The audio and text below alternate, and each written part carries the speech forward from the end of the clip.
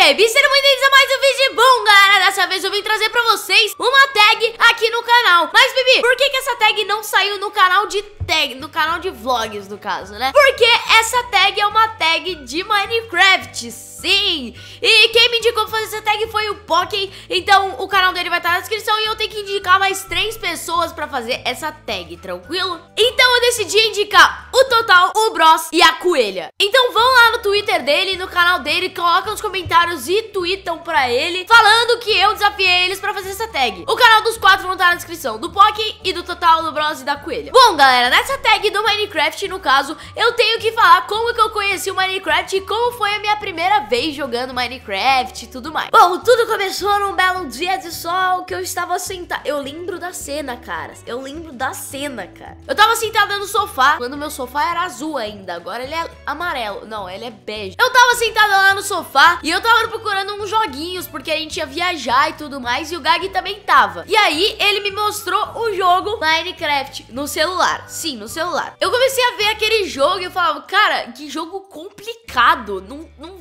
como que se joga isso daqui, cara? Como que se joga isso daqui? Por eu não saber jogar o jogo, eu parei de jogar e tudo mais. Depois de um tempo eu comecei a tentar jogar e tal, e eu consegui e eu fiquei viciada. E eu lembro da minha primeira casa no Minecraft, galera. Quando eu comecei a jogar Minecraft no celular, foi justamente quando lançou o Minecraft no celular. E o Minecraft no celular era basicamente o seguinte: eles colocavam um mundo, eu acho que era mil blocos, era um quadrado assim, era mil blocos pra cada lado. E no final do mundo era uma parede invisível onde você conseguia ver o céu só. Ou seja, era plano e aqui a parede era de céu. E aí a minha tática linda, maravilhosa pra não precisar fazer tocha era o quê? Fazer casa na borda do mundo. Por quê? Porque quando ficava de dia, iluminava sua casa. Então a gênia fez o seguinte: cavei um buraco pra baixo na borda do mundo. Aí a minha casa era terra, terra, terra e no void, né? E aí quando ficava de dia, ficava iluminado e tal, debaixo lá da, da terra. Nossa, era sensacional. Arquiteta, nossa senhora. E não tinha muito o que fazer. Por quê? Porque não tinha redstone, não tinha nada, não tinha praticamente nada no Minecraft. Beleza, eu fui jogando tudo mais. Aí eu ficava na escola, tipo, nos recreios, eu ficava minerando o recreio inteiro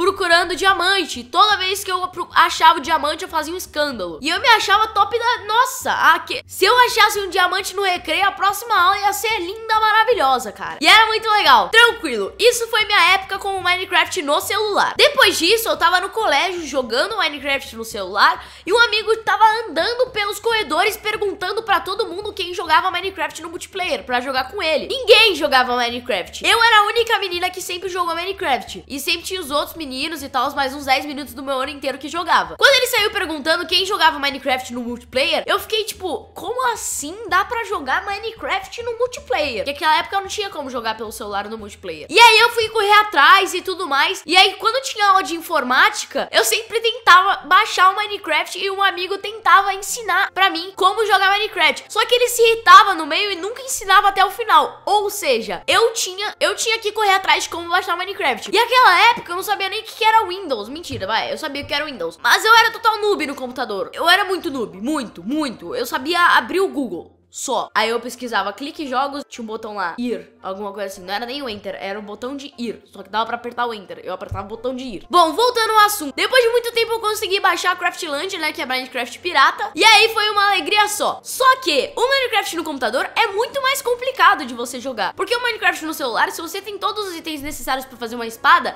ele faz a espada. Você não precisa fazer todo o craft na crafting table. Então era totalmente diferente. Pra mim era outro jogo no computador. O que que eu fiz? Tinha uma amiga minha, ah, verdade, era eu e essa amiga que jogava Minecraft. É a Gica.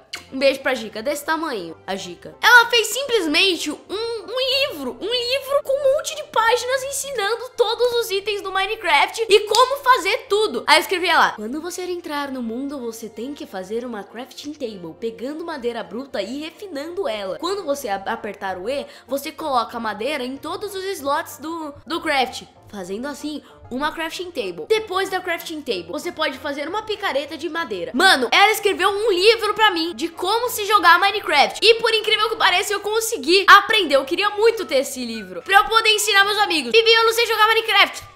Toma. Eu não tenho paciência pra ensinar. O meu pai foi a única pessoa que eu tive paciência pra ensinar. E foi assim que eu aprendi a jogar Minecraft. A minha casa no Minecraft do computador, minha primeira casa era o seguinte. Era também um buraco no chão, só que era um bagulho mais bonitinho. Tinha escada, tinha uma porta e tudo mais. A minha primeira casa no Minecraft do computador foi também um buraco pra baixo. Sim, foi um buracão. Era um buracão enorme, uma casa enorme assim. Nossa, uma mansão debaixo da terra, feita de terra, então não era bem uma mansão. E do lado tinha uma mini caverna, que na verdade não era uma, não era uma caverna, era um buraco um pouquinho grande, onde tinha um pocinho mínimo de lava. Nossa, eu cheguei na escola falando, Gica, mano, do, meu, do lado da minha casa tem lava. Aí ele falou assim, sério? Nossa, escava em volta dessa lava toda, porque você vai achar diamante. Na camada da superfície, achar diamante. Nossa!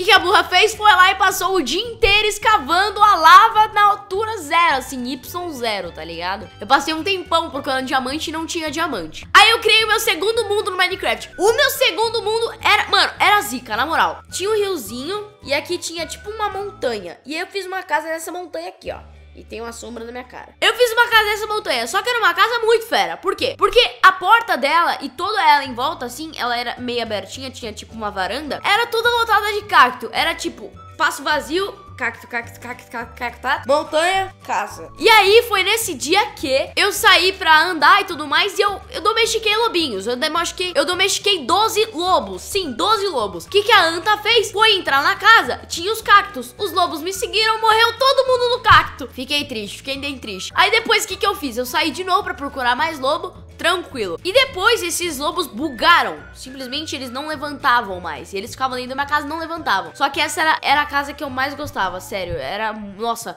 tinha paixão por essa casa. Era muito fera. Então é isso, galera. Foi assim que eu conheci o Minecraft, meus primeiros mundos de Minecraft e tudo mais. Então eu passo essa tag pro Total, pro Bros e pra Coelha, beleza? É isso aí. Um beijão pra vocês e... Valeu!